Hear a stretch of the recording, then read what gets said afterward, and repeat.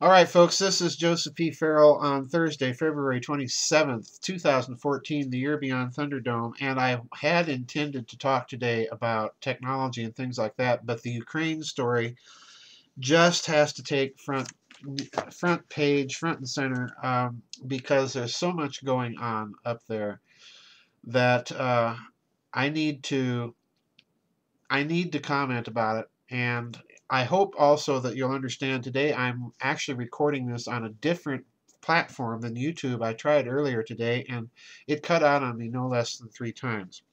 So bear with me, I'm new to this technology that I'm using today. But anyway, I want to talk about the Ukraine. I want to put it into a context of, number one, that hidden system of finance that I've been talking about for a number of years since the, the bearer bonds scandals broke back in 2009. And I also want to put it in the context of the geopolitics that I think may be going on here. I'm not a geopolitician. I'm certainly not trained in that. So take whatever I say on that score with a grain of salt. But nonetheless, I think those two contexts are essential if we're going to understand what's taking place. Now, I want to begin by talking about an article that was written by George Soros that many of you sent me in respect to the Ukraine. And I want to read something here that he says I find very interesting. It's almost an admission. Okay, quote. He says, whether that unity, now in the Ukraine, endures will depend on how Europe responds. Ukrainians have demonstrated their allegiance to a European Union that is itself hopelessly divided, with the euro crisis pitting creditor and debtor countries against one another. That is why the EU was hopelessly outmaneuvered by Russia in the negotiations with the Ukraine over an association agreement. True to form, the EU under German leadership offered far too little and demanded far too much from the Ukraine. Unquote. Now let's stop right there because that's an interesting admission about Germany's role in all this. They wanted far too much and were willing to give far too little. And that is a circumstance that's bound to drive the Ukraine back to Moscow. Now, you'll recall that I said in a couple of previous news and views that the German foreign minister went to Moscow and they had nice, friendly, open talks about the need for transparency and so on. He visited with President Putin. He came back, and it looked like Germany was going to withdraw some of the pressure that the EU was putting on the Ukraine. And then Chancellor Merkel gets hit with scandals involving child pornography and so on and so forth with members of her cabinet. So, in other words, I think that that was a message to Germany from the covert specialists in America to sing on the same page. And Germany, you'll recall, has also been making moves with France for an independent European internet free of American influence and electronic spying. So, in other words, there's more going on here that meets the eye that is taking place behind the scenes with respect to the Ukraine and with respect to Germany. Soros is kind of hinting that he knows what the game has been. Let me continue now with what he says. Quote, now, after the Ukrainian people's commitment to closer ties with Europe fueled a successful popular insurrection, the EU, along with the International Monetary Fund, there we go, folks, ding, ding, ding, is putting together a multi billion dollar rescue package to save the country from financial collapse. Unquote. Bull roar. What they're talking about is imposing stringent conditions on the Ukraine and getting the Ukraine locked into the Western EU system of finance that will keep the Ukraine perpetually in the Western orbit and out of Moscow's. That's what the game is, okay? Quote, but that will not be sufficient to sustain the national unity that the Ukraine will need in coming years. I established the Renaissance Foundation in the Ukraine in 1990 before the country achieved independence. Unquote. Now stop right there because that's a, as much as an admission that you'll ever get that he has had a role quietly and behind the scenes as a private channel for funds going to the covert operations people. All right, that's as close as you're ever going to get to an admission. But many suspect, I among them, that that's exactly what his role has been. Quote, the foundation did not participate in the recent uprising, but it did serve as a defender of those targeted by official repression. The foundation is now ready to support the Ukrainians' strongly felt desire to establish resilient democratic institutions, above all, an independent and professional judiciary. Unquote. Now, stop right there because that is also another admission that what they're talking about is a system of government under the aegis of the EU, under the bureaucrats of the EU. That's really what the game is here. Now, why have I bothered you with Soros? Because he's an indicator of that tight nexus between private finance, between the financial sector, and covert operations that I've been arguing has been put into place since the end of World War II by the creation of a huge hidden system of finance at the end of the war by President Truman. All right. And what that effectively did is it injected the intelligence agencies into the banking business and it injected finance into intelligence, into covert operations. So, in other words, we're seeing the, a structure here that has been driving events in the Ukraine. And it is that same structure, I contend, that's driving events in Venezuela that has driven them in Libya, Egypt, and Syria. Okay?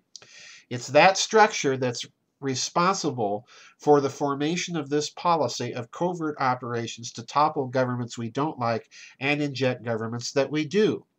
And until that structure changes, the policy is not going to change. It's a very, very dangerous situation, in other words.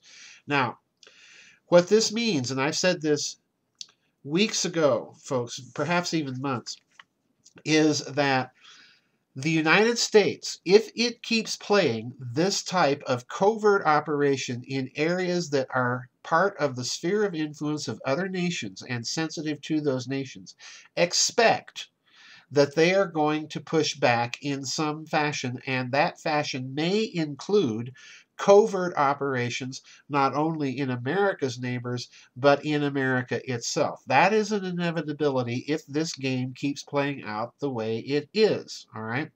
Imagine our reaction if Russia were sponsoring covert operations in Mexico, a major oil producer and a major trading partner of the U.S., to bring Mexico within the Russian sphere of influence.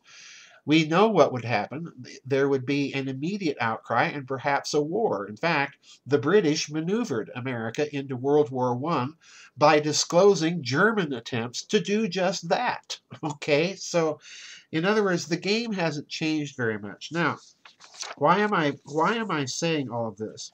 Because I want you to listen to words of Secretary of State Ketchup Kerry, that's what I like to call him, in response to what's going on now in the Ukraine. He says, quote, and, and listen, you, folks, you can't bottle and package hypocrisy as well as he just did in this statement. Listen to this. He says, quote, Kerry, during an interview with the wife of the former boss of the Federal Reserve, Andrea Mitchell, demanded Russia, quote, respect the Ukraine's sovereignty and territorial integrity, to end provocative rhetoric and actions, to support democratically established transitional governing structures, and to use their influence in support of unity, peace, and an inclusive path forward. Unquote. All right. Now, imagine Secretary of State Kerry saying respect territorial integrity and the sovereignty of nations which is exactly what the U.S. is not doing in Syria and is not doing in Venezuela. All right. Now, let me let me put that aside for a moment in as backdrop to the fact that again, if the U.S. keeps playing this playbook, we are going to get pushback. Now, here comes the pushback. Recently, Russia mobilized its militia in the Crimea. That's the part of the Ukraine that has remained more or less intentionally loyal to Russia. And the reason why is there is a city, a, a port city in the Crimean called Sevastopol. All right, Sevastopol has been for at least two and a half centuries the home base, the, the home port of the entire Russian Baltic, or pardon me, Black Sea fleet. All right. Sevastopol was the scene of the major battle during the Crimean War during the 19th century between Britain, France, and Turkey and Russia that led to the creation of the poem called The Charge of the Light Brigade. It's about their siege of Sevastopol. It was a scene of a major and bloody battle during 1942 and World War II between the Soviets and the Germans, when the Germans subdued and subjected the city to a massive artillery bombardment, the largest in World War II, in fact. So, in other words, Sevastopol is a place that Russia has always vigorously defended.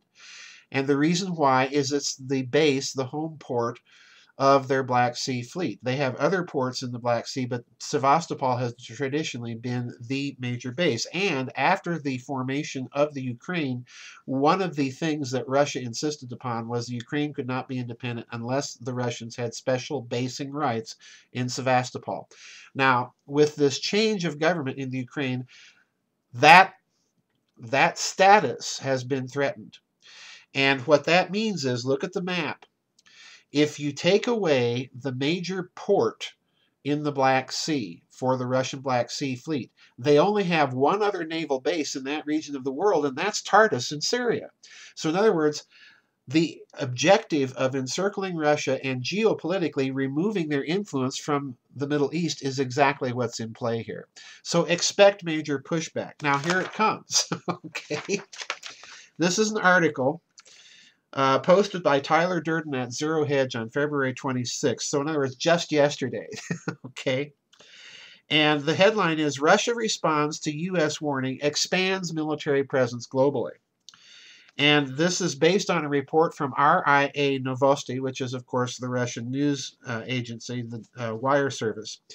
And it says this RA, RAI, or pardon me, RIA Novosti reports Defense Minister Sergei Shoigu saying Russia has plans, quote, to expand permanent military presence outside its borders by placing military bases in a number of foreign countries, unquote, including Vietnam. There's your ally with China, your alliance with China, protecting the oil routes to China.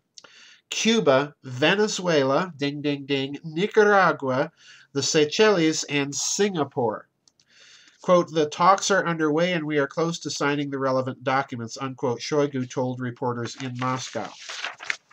The minister added that the negotiations cover not only military bases but also visits to ports in such countries on favorable conditions as well as the opening of refueling sites for Russian strategic bombers on patrol, unquote. So, in other words, the pushback's begun, folks. And I suspect, regardless of the attempts of the USA to meddle with these attempts by the Russians to establish strategic bases, we may be successful in one or two instances, but not universally. And this pushback is only going to increase, and eventually, if the U.S. keeps playing these covert operations cards on the BRICS nations and in areas around those nations where their spheres of influence are threatened, expect them, expect them to do the same in North America and in Europe. So, in other words, the globalist dream could easily fall apart if the people pushing for it are wanting to push too hard and too fast. They are going to encounter resistance. Anyway, that's it for my news and views this week uh, from the Nefarium folks. I'll see you on the flip side, and God bless everybody.